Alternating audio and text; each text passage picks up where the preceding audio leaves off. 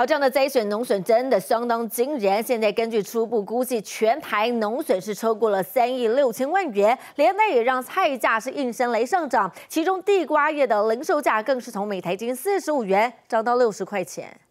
一百二。好，谢谢哦。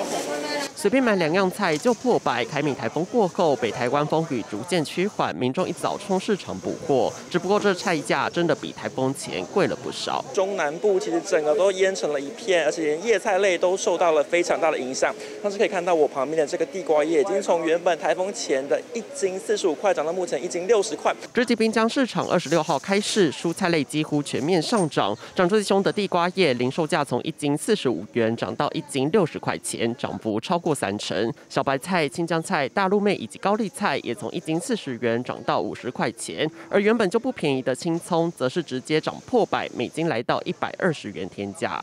啊，一般性的话涨幅都有两到三成的涨幅，有水伤了，然后是腐烂的话，它没办法采收，它的量的话。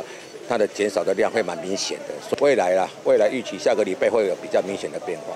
毕竟凯米带来的雨量真的惊人，尤其中南部淹成一片，农民损失惨重。根据农业部农粮署统计，截至二十五号傍晚五点为止，农损已经飙升到三亿六千多万元，逼近四亿。其中屏东损失超过两亿四千万，占比百分之六十七居冠。花莲、云林、高雄农损也都有八位数，而影响前五大作物依序为香蕉、柠檬、番石榴、木瓜以及茄子。蔬果价格应声上扬，估计两周内批发价将大涨七成以上。两样都有一百多块的啦，以前两样差不多五十块左右，今天都贵一倍以上，大概贵了百百分之十还是二十有。